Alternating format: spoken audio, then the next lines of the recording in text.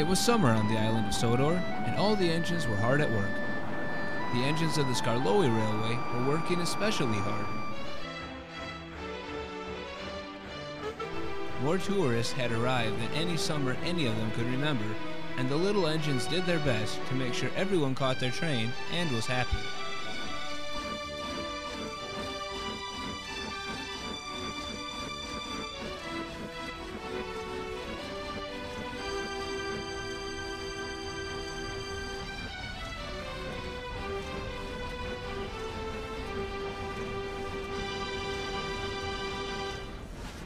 But not everyone was happy.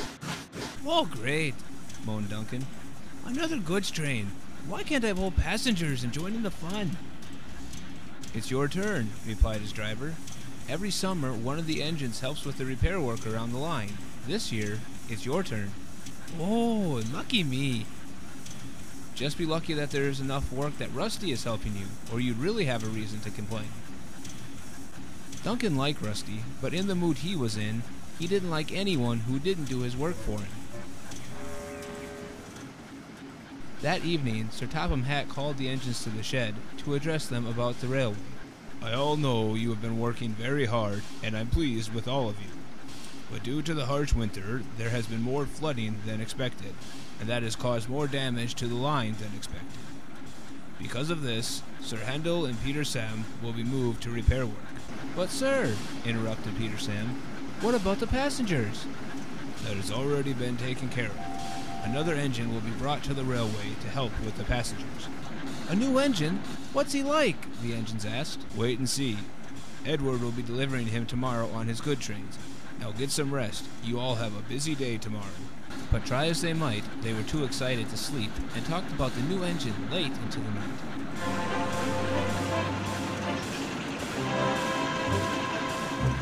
The next day, Edward picked up the new engine.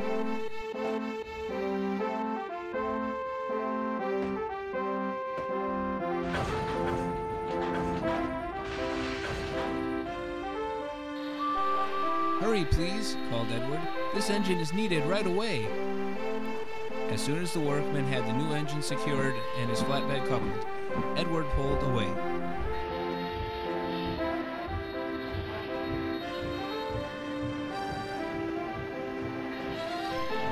Hope you like working with the other engines, Edward called to the new engine. They really need your help. This summer is busy for everyone. What's that? Oh, we'll be there very soon. I just need to drop off this train for Wilbert.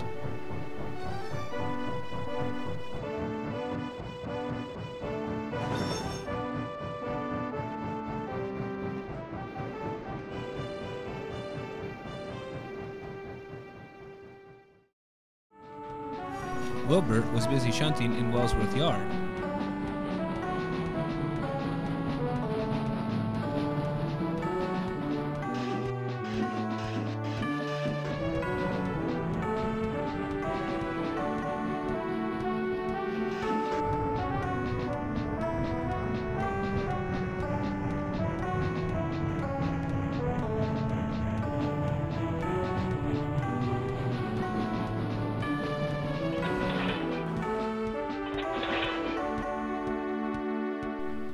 He had stopped to take a rest when Edward pulled in.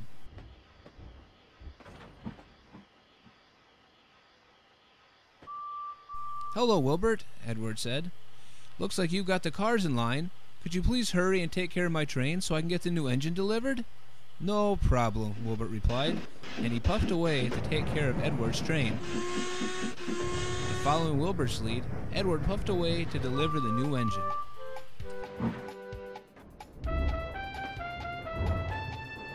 Well, called Edward, now we're on our way. It's a bit of a trip, but it's lovely country. You'll see a lot of beautiful sights on the line you'll be working on. I just hope you can keep up with all the work, he laughed, and they headed towards Gordon's Hill.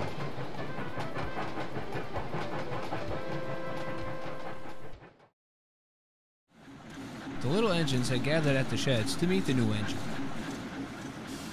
James had pushed the breakdown train in to unload the new engine, and they were now waiting for Edward to arrive.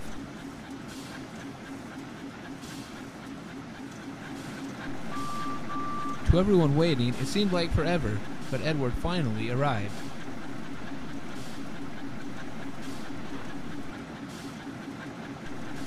The new engine was Smudger, the engine that Duke had worked with before Smudger was turned into a generator. He was unloaded and rolled up by Peter Sam and Sir Handel. Hello, I'm Smudger.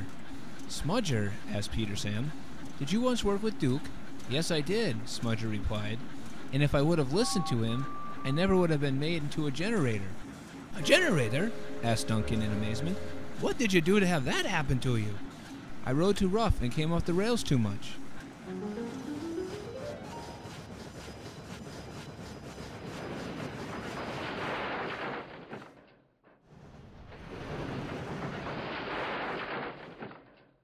The manager told me he'd finally make me useful, and the next thing I knew, I was a generator. See, Duncan, chimed Rheneas, you really can be cut down to size if you keep riding rough. That's not funny, snapped Duncan. You're both right, said Smudger. You can be cut down to size if you don't behave, and it's not funny. I had a lot of time to think while I was a generator, and now I know better than to act like I did in the past. But you're an engine again, said Sir Handel. How did that happen? When the people came to buy you two, some other people came and bought me. They kept me as a generator until they realized they could make more money by turning me back into an engine and renting me out or selling me. They finally got me fixed up and Sir Topham Hatt needed an engine, so here I am. So, where's Duke? He had a late train, said Rusty. He should be here soon. There he is now. What are you doing here? demanded Duke.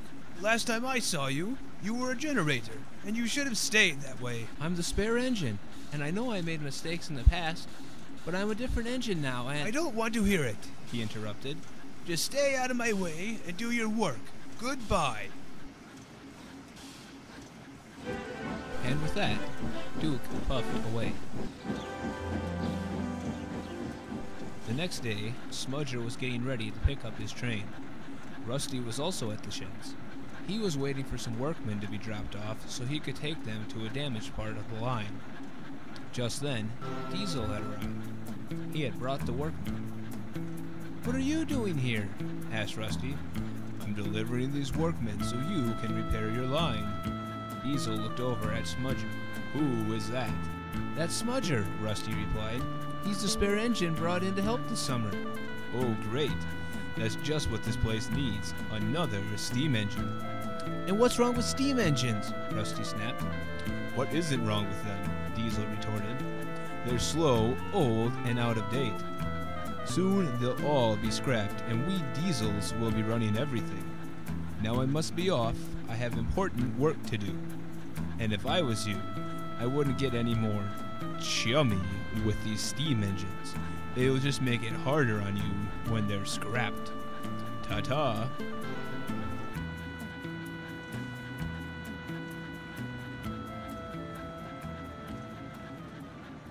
Smudger, who had heard everything Diesel had said, was now very sad and worried. Is what he said true? Smudger asked. What Diesel said? Rusty replied. Of course not. Nothing Diesel says is true. No one here listens to him. It would be in your best interest to do the same. Well, it looks like the workmen are ready. I must be going now. Goodbye.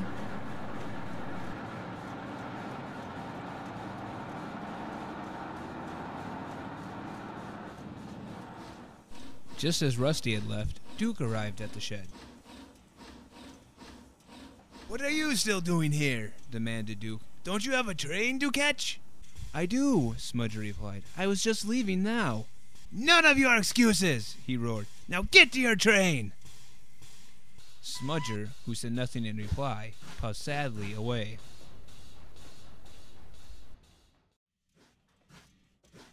Smudger had collected his coaches and was waiting at the station when Duck arrived. Hello, said Duck. You're new here, aren't you? Yes, I am, replied Smudger. My name is Smudger. I'm the spare engine brought here to help over the summer. You're a Great Western engine, aren't you? And proud to be one, too, Duck replied. It's nice to meet you, Smudger. My name is Duck. I hope you're enjoying your time here. I am very much, Smudger replied. Sorry I can't stay and chat, but I must be off. Goodbye.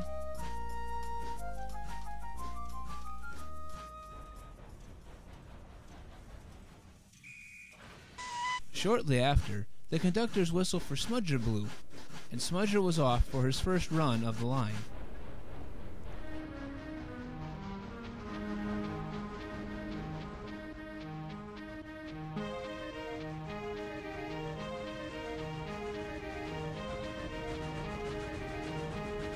Smudger enjoyed his run. The people were all very kind and friendly, and he thought the scenery was lovely.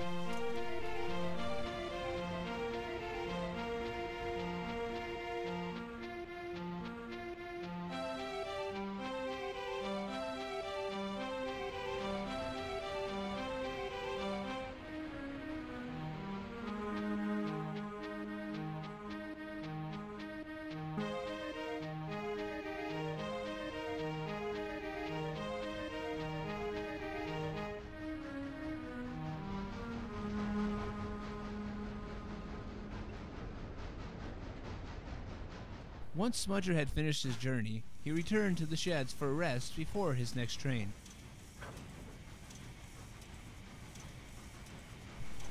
He noticed Duck shunting.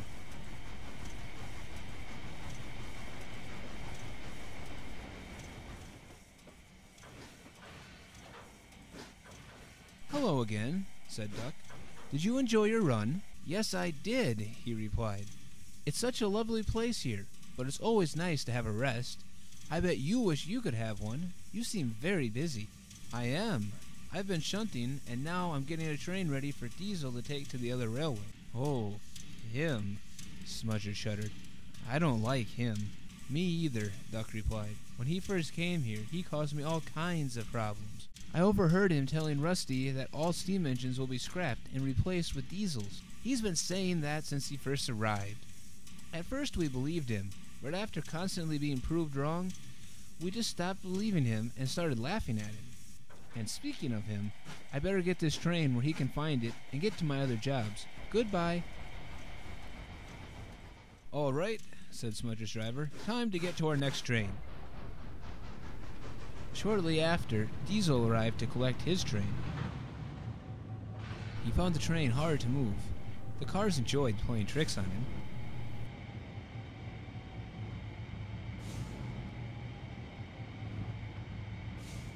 At last, he finally got his train moving and he left the yard.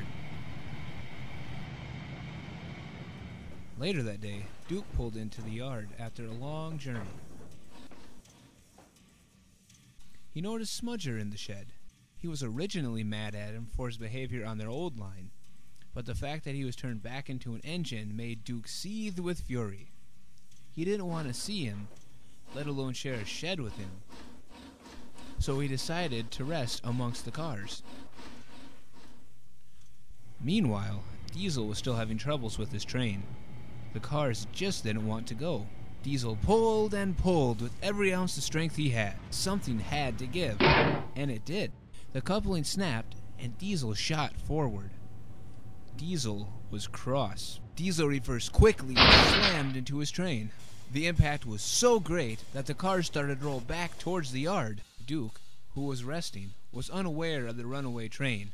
Suddenly, a warning alarm sounded and startled Duke awake just in time to see the cars racing into the yard.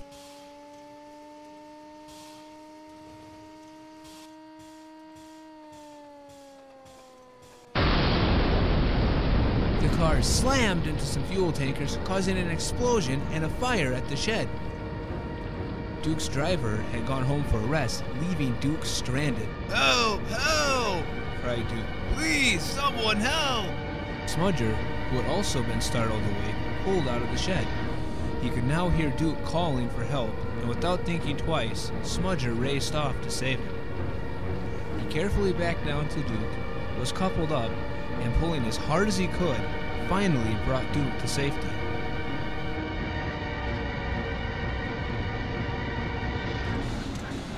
Later that night, all the engines had returned to the shed. The fire had been put out, but not before the damage had been done. Murdoch had brought the breakdown train in to help clean up the mess. Crews were looking over Duke to make sure he was alright. Thank you for saving me, Duke said to Smudger. But why did you do it after I was so mean to you? Like I told you, he replied. All that time as a generator gave me time to think. I'm a different engine now.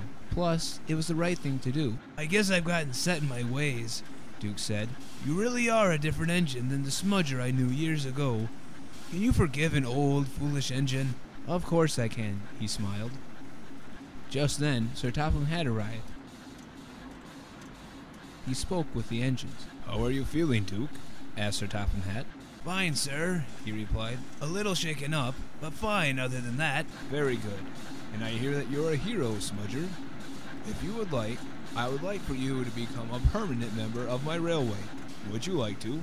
Yes, please, sir. Thank you. Very good. Here you shall stay. I will make the arrangements. Hooray! Hooray! cheered the engines. As soon as the cheers died out, Sir Topham Hatt began to speak again. Now, all that's left to do besides repair the building, said Sir Topham Hatt, is to find out who is responsible for this fire. Just then, Duck and Percy arrived with Diesel. What's going on here? asked Sir Topham Hatt. We found Diesel stuck on the line, sir, replied Duck. We also found out that it was Diesel slamming into his train, causing it to roll back into the yard that caused the fire. So, it was you, he thundered. You cause problems no matter what you do. I don't know what to do with you. Excuse me, sir, Smudger interrupted. I know that the last time I had to deal with an engine like that, what fixed him was turning him into a generator. Diesel was horrified at this idea. A generator, eh? he said thoughtfully. That's an interesting idea, but knowing Diesel as an engine, he'd probably be just as much trouble as a generator.